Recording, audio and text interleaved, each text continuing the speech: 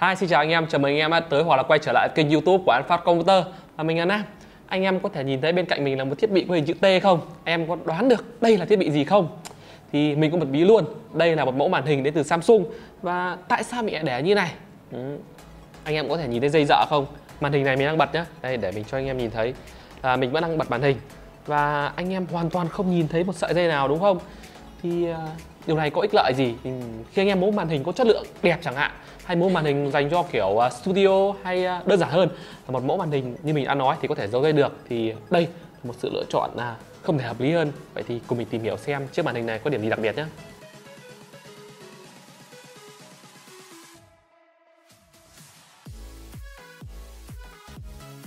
Ở tại thời điểm hiện tại, rất nhiều anh em muốn hướng tới sự không dây ở góc làm việc như bàn phím không dây này, chuột không dây này, điện thoại sạc không dây này.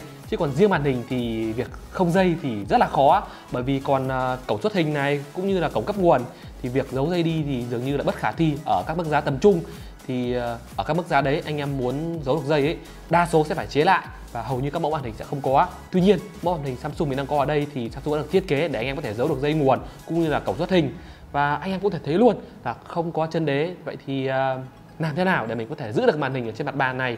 Thì đây là một thiết kế tương đối đặc biệt đến từ Samsung. Khi à, chân đế sẽ không được đặt trên mặt bàn mà sẽ bắt thẳng vào bàn luôn thì đương nhiên rồi điều này sẽ có những ưu và những điểm riêng. Thì ưu điểm là các bạn sẽ có được một cái màn hình cố định một chỗ luôn và giấu được phần dây điện như mình đã nói rồi. Và cái thứ hai là sẽ có các màn hình độc đáo hơn. Thì với những cái màn hình có chân đế ấy, thì việc à, anh em có thể lên xuống ngay tại chỗ luôn cũng như là việc quay dọc màn hình ra còn đối với chiếc màn hình này thì sẽ, gọi là không thể thôi. Thì anh em vẫn có thể nâng lên, hạ xuống, nhưng mà việc ừ, quay dọc màn hình ra điều à, không thể. Và cái góc nâng lên này, hạ xuống này nó sẽ khác biệt. Đây, như em có thể nhìn thấy, thì có thể nâng được cái màn hình lên đây. Rất là cao, đúng không? Và cùng với đó thì mình có thể hạ xuống được. Thì à, góc mở thì cũng tương đối lớn.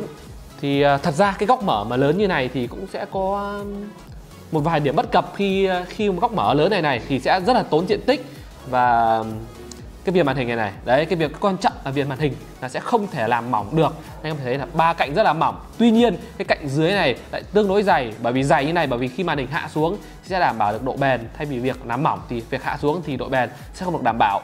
Và thì phần nhược điểm ấy thì ngoài phần uh, con góc mở lớn và tốn diện tích ra và cái thứ hai đó chính là việc nó không được chắc chắn cho lắm, thì cái cái việc không chắc chắn này thì không phải là màn hình anh em có thể rơi ra được đâu, không phải đâu, mà là khi, đây, anh em nhìn này nó rất là rung rinh, mình chỉ cần động nhẹ thôi, nó rất là rung rinh. Thì thực ra nó sẽ không ảnh hưởng đến độ bền, mà chẳng qua là trải nghiệm sử dụng khi chẳng may anh em gõ văn bản, gõ mạnh chẳng hạn, thì màn hình cứ rung rung rung, thì tương đối là khó chịu. Thì à, đây có lẽ là một điểm trừ à, khá lớn đến từ mẫu màn hình này. Còn đâu thì à, còn lại thì những cái điểm cộng mà màn hình nào cũng có ưu và nhược điểm riêng mà. Thì tiếp theo thì mình sẽ nói về phần cổng kết nối. Ừ, cổng kết nối thì thực ra cũng ờ, không quá là ấn tượng khi anh em sẽ chỉ có một cổng USB type A một uh, cổng uh, ờ, HDMI một cổng uh, mini DisplayPort và một cổng nguồn thì uh, tương đối là khiêm tốn khi uh, so với mẫu màn hình này nhưng mà tuy nhiên vẫn là đủ dùng với các uh, nhu cầu cơ bản Ừ, vậy thì còn phần thông số thì sao? Thì đây là một màn hình 27 inch có độ phân giải 2K, tần số quét 144 Hz, có độ trễ 4 ms giây, độ tương phản tốt và độ sáng uh, trung bình phù hợp sử dụng trong nhà với uh, độ sáng là 250 nit, uh, có góc nhìn rộng và nghe thôi đã thấy nó hấp dẫn rồi đúng không? Ừ. Nói về phần góc nhìn rộng ấy thì anh em sẽ nghĩ đây là một tấm nền IPS đúng không? nhưng mà thực chất đây không phải là một tấm nền IPS đây là tấm nền VA theo như mình tham khảo trên trang chủ của Samsung. Thì à, bắt đầu tiên thì mình cũng nhầm thôi bởi vì góc nhìn gần như là tuyệt đối giống như kiểu IPS thì góc nhìn à, anh em có thể được à, 178 độ cũng gần tương đương màn hình IPS rồi đấy. Mình cũng tưởng bị nhầm cơ nhưng về sau khi mình check lại thì mới ra. Thì sau một hồi suy nghĩ thì mình cũng thấy cũng đúng mà vì Samsung là một hãng sản xuất màn hình gọi là tốt nhất hiện nay rồi nên việc họ có thể gia công một tấm nền VR có thể tốt được gần như một tấm nền IPS là một điều tương đối là dễ hiểu thôi Ok, thì vừa rồi là phần thiết kế với phần thông số thôi. Vậy thì à, mẫu màn hình này sẽ dành cho các công việc đặc thù nào? À, theo mình ấy thì anh em sử dụng cho nhu cầu nào nó cũng hợp lý thôi. Thì à, đương nhiên rồi, màn hình nào thì anh em có thể sử dụng mà. Tuy nhiên ấy thì cái mẫu màn hình này phù hợp nhất đó là anh em sử dụng các studio thì uh, với thực ra thì cái độ linh hoạt ấy thì nó khác so với màn hình bình thường vì anh em có thể này hạ xuống mức rất thấp này. Đó anh em có thể trình chiếu được này hoặc anh có thể ngửa hẳn lên như này. Với những bạn có ý thích đứng để sử dụng màn hình chẳng hạn thì việc ngửa như này thì tương đối là hấp dẫn phù hợp để làm việc trong studio đúng không? Thế còn muốn chơi game thì sao? Thì đương nhiên rồi và các uh, thông số tương đối là hấp dẫn như kiểu uh, 144 Hz này, độ trễ 4 mini giây này và màn hình 2K thì anh em có thể chơi game hoàn toàn ổn trên chiếc màn hình này.